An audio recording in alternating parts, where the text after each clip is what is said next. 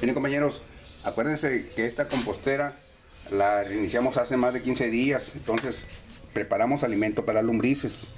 ¿Por qué? Porque lo vamos a adquirir, entonces ya este alimento ya, ya tiene tiempo suficiente para ser alimento de nuestras lombrices. Recuerden que, que de preferencia todos los alimentos que nosotros echemos a la, al depósito donde estamos preparando la composta para nuestras lombrices debe el plátano por ejemplo es este color natural pero lo que nosotros tenemos que buscar es cuando tenga ya este color el plátano. Por ejemplo es un ejemplo más que le estoy dando no la papaya pues también o sea entonces este este alimento así es les encanta las lombrices. Entonces por eso hay que compostar un poquito 15 días 3 semanas. Entonces Aquí acuérdense que echamos varios alimentos. Por aquí les voy a poner un, un link para que vean el, el video anterior. Entonces nosotros ya, ya, ya, ya este material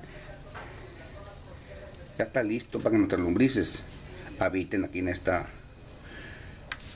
en este depósito donde vamos a tener nuestras lombrices. Eso ya, ya con tiempo lo hicimos. Entonces, ahorita, ahorita ya vamos a echar las lombrices. Por ejemplo, recuerden que nos envían con, con cierto sustrato, donde ellas vienen y se alimentan, de donde vengan, ¿no? De donde las pidan.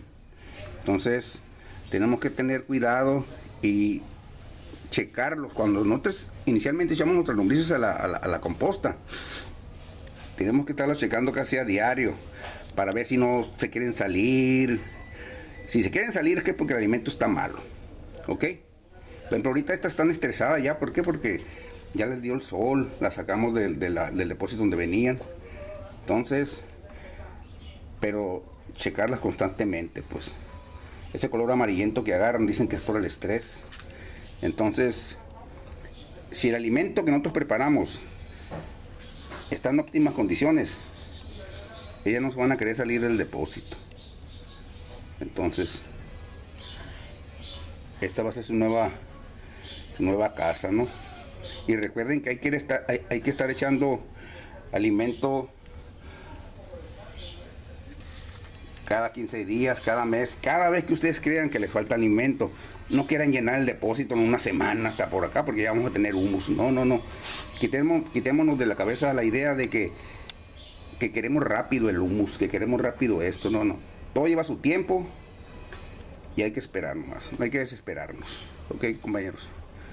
Miren, están dando una bebé por aquí así. Pues ahí les dejo este pequeño video, chamacones. Espero les sirva de algo.